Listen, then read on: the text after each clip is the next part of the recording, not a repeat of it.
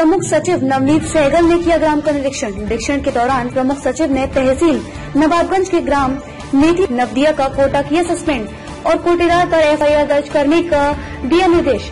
साथ ही शिक्षा विभाग के द्वारा छात्र छात्राओं को बांटे गए स्वेटरों में बड़ा घोटाला सामने आया है।